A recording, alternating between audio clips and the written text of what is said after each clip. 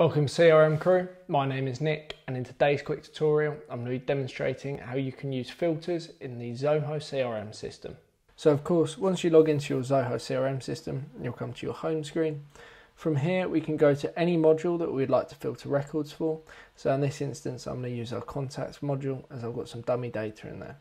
So go over to your contacts module and you'll be presented with the um, with what you usually see your records uh, inside of that module. Now, I want to filter these records. So if I go to the filter button in the top left corner, you'll then be presented with the filter options that you've got. Now, we've got two types. We've got system defined filters and we've got filter by fields. I'll come back to filter by fields. But quick, quickly, I'll explain system defined filters. And essentially what they are is when is, a means of filtering records by the engagement that they've had by either the user or the system. As a quick demonstration, I'll go to touch records here. Now, touch records essentially says I want to search all the records that have been engaged or touched, essentially changed by either the user or the system. Now, you can change these parameters as you wish, and I'll quickly show you. You've got user or system, user, system, only user, and only by system. Um, system essentially refers to the, the CRM system um, and any background workflows that might have made a change to that particular record. So let's say that something has triggered something. So let's say as a as a vague example, um, a contact related to a deal, and that deal has moved on to another stage of the deal process, the sales pipeline. Um, that that new stage might trigger a, a workflow that might have an impact or make a change on a record. So that's what touch records are, and untouched records would be the complete opposite. So, any records that have been untouched in X amount of time, either by the system or the user. Um, you've also got record actions and related record actions. So, related record actions is modified or not modified. So, has a related record action been modified by the, either the user or the system, or not modified by either the user or the system? Got related records action. So has the related records been done or not done? And then again, you can filter um, by the user or the system in the last X amount of days. Uh, and not only that, the parameters for the time span can be changed um, however, however you'd like to search or filter the records by.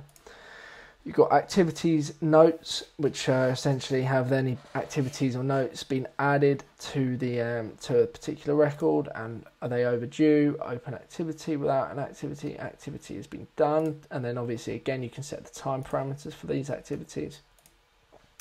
Um, notes is has any written notes been added or without any notes. Um, deals now deals is really clever because it essentially ties in the deals module with contact. So any contact that is related to a deal will essentially be a, you'll be able to track from the contacts and then filter the contacts according to those deals. So I'll give you an example. Deal stage. So let's say I want to filter all the contacts that are associated with deals that are at the that are at the deal stage needs analysis, for example, and then you can press apply filter. So that's really clever. And then obviously the final one is campaigns, um, and you can filter your contact records um, by the involvement in campaigns, and then you could really grill that down and go, I want to see all the advertisement campaigns that have been completed and the campaign name. If you if you needed to go this far, was all right. You could give a name. Of unfortunately, I haven't got any campaigns, so I've got none to search by. Now, filter but filter by fields is very different. So as opposed to filtering by behavior or interaction with a record, you're actually filtering by data inside of a record.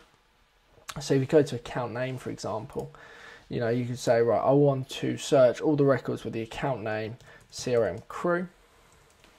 And then you can apply that filter and it will show you all the account, uh, it will show you all the contacts with the account name CRM crew. So, so that, and obviously you can you can add lots and lots of different um, parameters or filters to one filter. So you can say, oh, I want to see all the records with the account name, CRM crew that were involved in a campaign that um, have been touched in the last X amount of days. And then you could save this filter. So then press save. And I would recommend doing this, especially if you're going to build out a large number of filters, is adding a number at the start. So Obviously, this will be our first filter, so it'll be filter number one, and obviously the next one will be number two, number three, and so on. This just makes it really easy to recognize which filter that you want.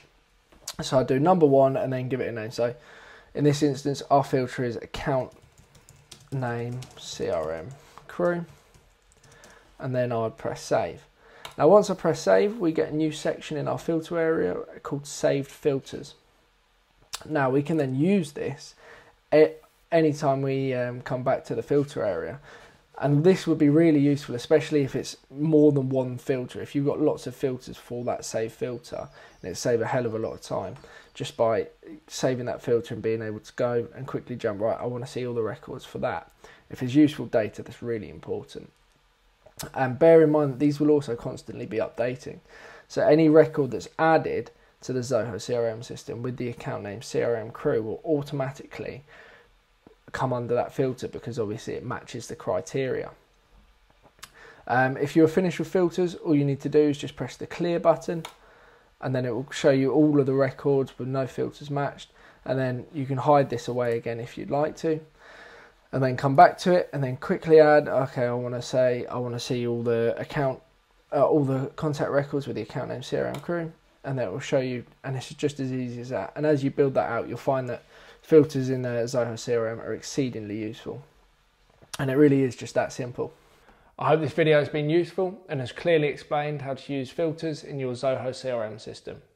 Uh, if you do have any further questions or need any help with your Zoho CRM system, feel free to drop me an email at nick at crmcrew.co.uk. Uh, my email is in the description below. Otherwise, thank you very much for watching and I will see you shortly in the next video. Thank you and goodbye.